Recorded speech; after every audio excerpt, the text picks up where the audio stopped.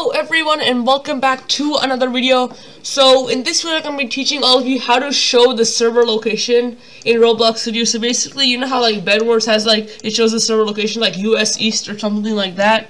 So that's what I will show you today. So uh, it's actually pretty simple. It's only a few lines of code. So first we're going to enter oh, uh, remote event into replicate search and we're going to call this server location. Okay? This will interact between the server and the client. Then we're going to enter a screen GUI. Okay, we're going to call this server location. Okay. So, uh, enable will be false and ignore GUI inset will be true and reset on spawn. No, enable will be true, ignore GUI inset will be true, and then reset on spawn will be false. Okay. So then text label we're going to put over here. Okay.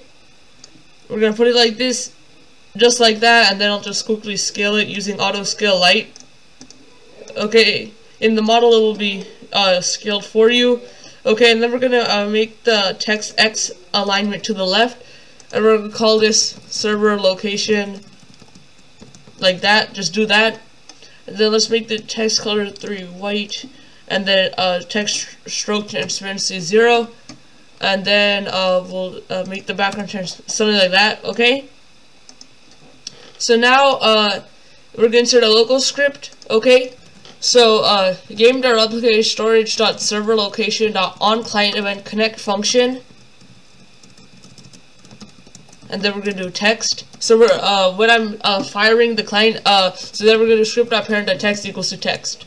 Just like that, okay? So the text will be fired from the from the the server, okay? Then just make this like nothing. Okay? So now we're just gonna insert a server script and I think we will be good. But also we're gonna also have to publish the game because we have to use HTTPS service. So just say oh damn I clicked team create. Oh it takes so much extra time it, why does it auto do team create? It's so freaking annoying. I have to wait like extra five seconds. It's annoying. Okay, so we're gonna go to game settings, uh, security, and then turn on uh, HTTPS request. Uh, okay, so now we're going to insert a script. We're going to do uh, location server. Okay, so we're going to do game dot players dot player added connect function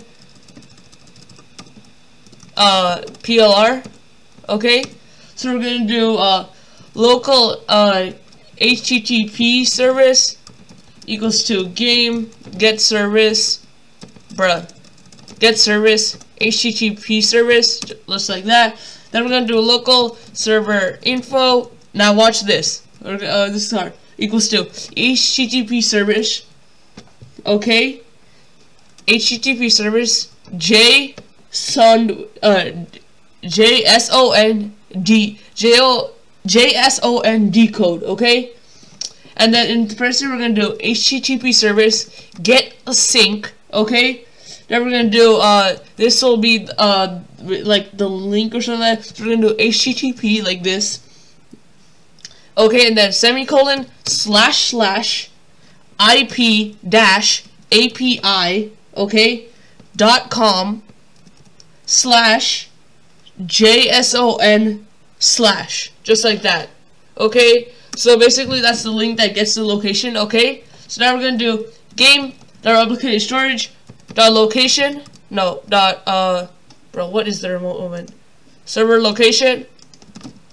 Fire client, player, comma, server, uh, server location, like this, space, dot, dot, okay, and then, uh, we're gonna do in, uh, parentheses, server info, dot city, no capitals, okay, comma, uh, no, dot dot, comma, space, dot dot, uh, server, uh, info, dot country, okay, just like that, and yeah, done.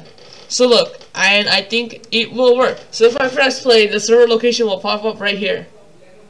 Boom. Server location, this in the United States. Uh, I'm gonna blur that out since that uh, because in Roblox Studio it takes your internet connection and then shows your real location of the server. So I'm just gonna blur that out. Just United States, okay?